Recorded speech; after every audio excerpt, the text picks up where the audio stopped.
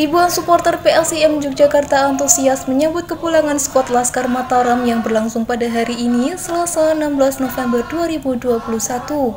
Mulanya, para supporter menunggu sejak sekitar pukul 9.30 di sekitaran Stadion Mandala Krida dan Wisma PLCM Yogyakarta. Kemudian, sekitar pukul 11 WIB, para supporter mendapat kabar jika kepulangan skuad asuhan Seto Nurdiantoro mengundur beberapa jam pada jadwal kepulangan. Sontak para supporter beralih menuju perbatasan DIY Jateng, tepatnya di Terminal Prambanan.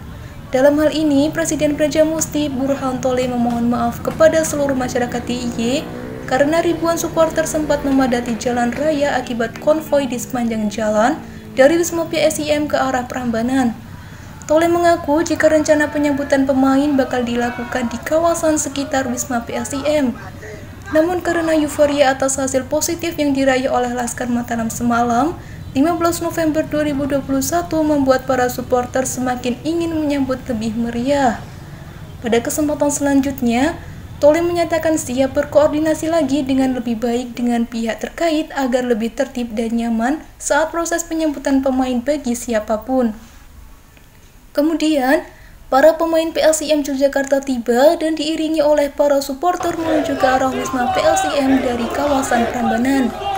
Namun sebelum pemain masuk ke Wisma, lebih dulu bertemu para supporter langsung di depan pintu masuk Stadion Mandala Krida.